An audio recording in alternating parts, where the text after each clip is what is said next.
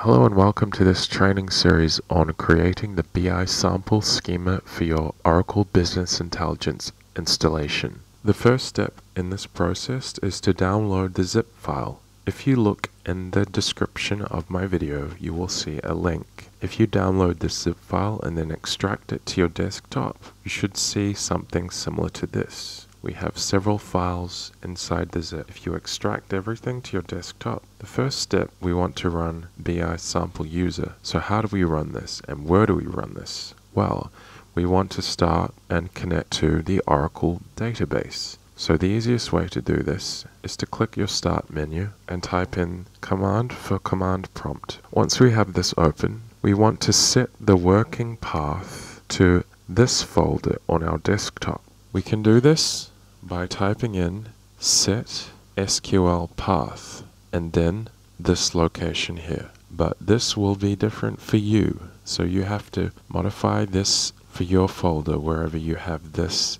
zip file extracted.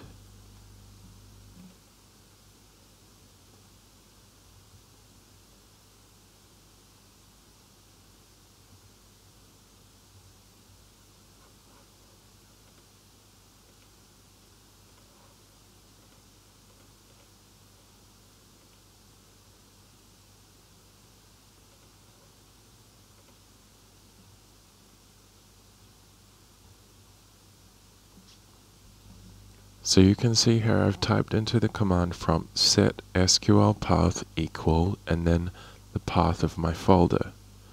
I can then press enter. Once I've done that then I can start SQL plus forward slash as sysdba and this connects to the Oracle database as the DBA user. Once we've connected to the database, you can see here this is what you will be presented with. We want to run this script. So if we have a quick look inside it, just to give you an idea of what it looks like, it's creating a user BI sample. It's giving it a password, a password of BI sample, a default table space, and then granting it some roles and privileges. So if you want to, you can modify your password here, uh, but otherwise you can leave it as it is. So we want to run this script. We do this by typing at and then the name of the file. So we have bi sample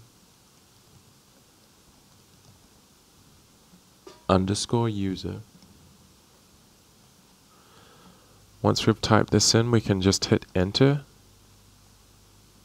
And you can see here that this script is then run. So we have created this user in our database as the system DBA. What we now want to do is we want to reconnect to the database not as the system DBA but as the BI sample user.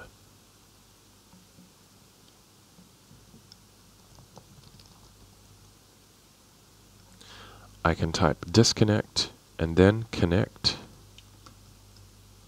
and I can enter the username BI sample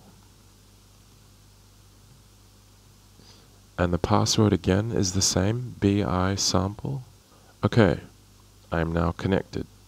And you can see I'm connected as bi sample. So what I want to do now is I want to create the schema inside this user's schema.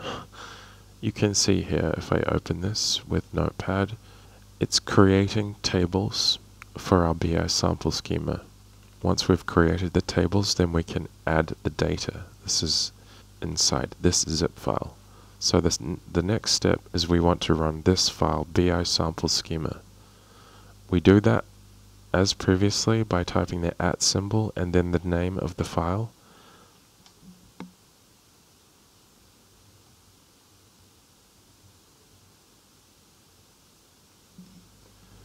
As you can see, I've typed at bi sample underscore schema underscore 825. I can then hit enter and my script is run. Final step is to extract this folder, bi sample data. You can see I've already done this. So I'm going to bring this file back into my path and I'm going to finally run the inserts for this database so we can insert data into this database. You can see here if I open this file, it's quite a large file, you can see here that's inserting into the tables that we've just created. So I can type this file name here at, uh, as you can see, at symbol followed by the file name.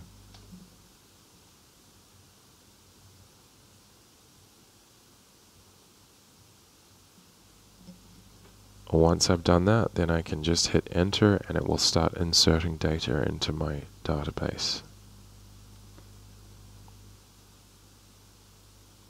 Okay, you can see now it looks like the commit is complete and we have inserted data into our database. To confirm that this process worked, we can select some data from our database, such as sample offices D.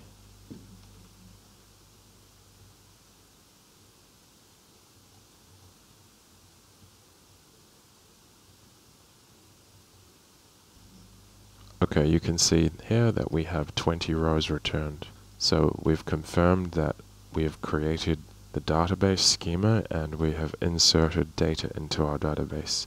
So that is great. Now we can use this data in our Oracle Business Intelligence installation to create our analytics. Thanks for watching.